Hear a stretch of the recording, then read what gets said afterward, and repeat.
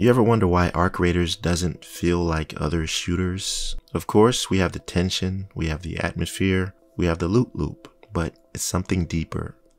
Something behind the scenes. The bots, they do everything your standard bots that are coded would do. Chase you, when they see you, they shoot. But these bots, these arcs, rather, do something even deeper. They learn you. And that's not hyperbole the devs actually implemented machine learning into the AI system. So Arc Raiders isn't playing fair. It's playing you. It's playing us. This video isn't about hype or marketing. Well, of course it is going to be naturally, but it's about a system most players don't even realize is shaping how they play and how they feel. Arc Raiders is tapping into the same psychological triggers that keep people hooked on roguelikes and survival games, but it's doing it in a way that feels natural because the game world is literally evolving with you.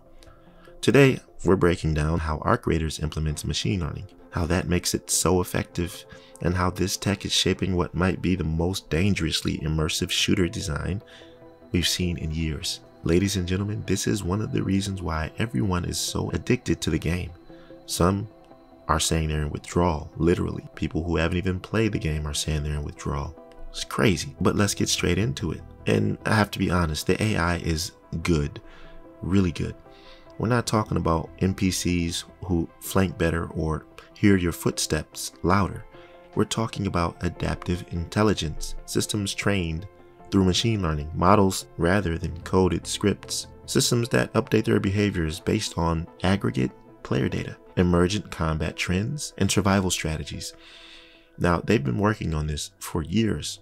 Why do you think they delay the game. It's not just because they wanted to scrap the whole PvE only formula, that was part of it, but that wasn't the grand vision. This footage that you see of this robot learning how to walk, the Queen's archetype, was three years ago. And I think that's actually when they delayed it. Correct me if I'm wrong. According to Embark Studios, statements and research publications, the team is actively exploring machine learning to power enemy behavior in Arc Raiders. In a blog post by Magnus Nordin, Chief Exploration Officer at Embark Studios, he outlines how their research is focused on training machines using reward-based systems and predictive tools to bring game characters to life. He said, at Embark, we're researching ways to allow game developers to tap into their true creativity, from training machines with rewards to making game characters come alive to giving creators predictive context tools. I'll link this article in the description below, but that philosophy is the foundation of this video. Because once you understand what that means mechanically, it explains why this game feels so different. Most AI systems and shooters are pre-baked. They walk paths, they follow triggers. The illusion of intelligence is just a series of checks and responses. But in Arc Raiders, enemy bots, the arcs, aren't simply reacting to you. They're accumulating data, rebalancing patterns, and modifying priorities. Live, you stay stationary behind cover too long? Next time, that drone won't hesitate to flush you out. You take the high ground every match, then the bots start deploying from vertical angles. If you solo with stealth builds, watch how the patrols start to double up and isolate you. This isn't only smart coding, it's a feedback loop. You shape the threat, the threat reshapes you.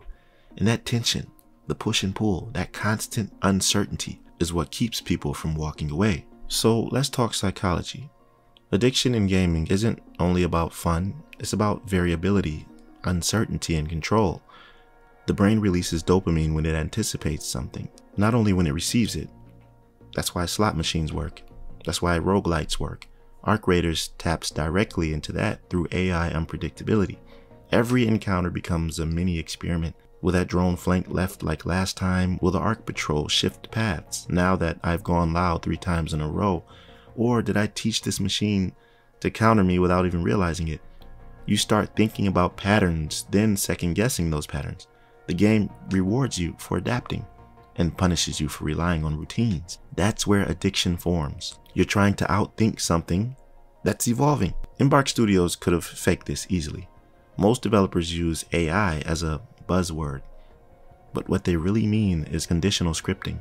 What Embark did instead was design modular intent driven behavior trees and train them with iterative feedback. That's what machine learning actually means in this context. Instead of coding if X, do Y, they gave bots goals like eliminate, suppress, surround and let them figure out how to achieve those based on the player's behavior over time. Here's how one developer explained it. The magic comes from the collision.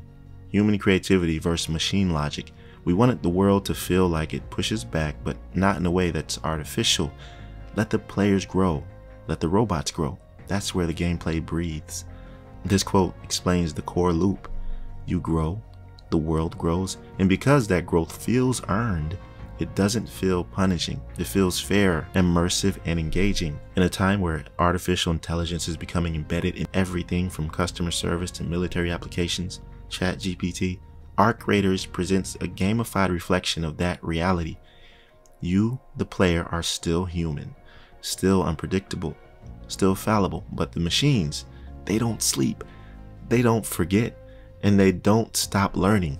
This tension, between human intuition and machine adaptability is what makes Arc Raiders stand out and what gives it a weird, persistent grip on humans' attention. It's why we're addicted. This isn't sci fi anymore, it's simulated psychology. And you're in the middle of it. So the real question is are you addicted to Arc Raiders because of the loot, or is it because the world feels alive enough to keep pulling you back in?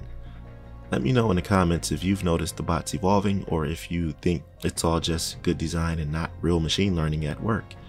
I'll be responding to thoughts and theories down there, and I cannot wait to talk about this. If you enjoyed this conversation and if it was insightful to you in any way, I'd appreciate a like on the video, and don't hesitate to subscribe to my channel if you're new here. I'd love to have you. That'll do it for this one. I'll see you on Speranza. Be right out.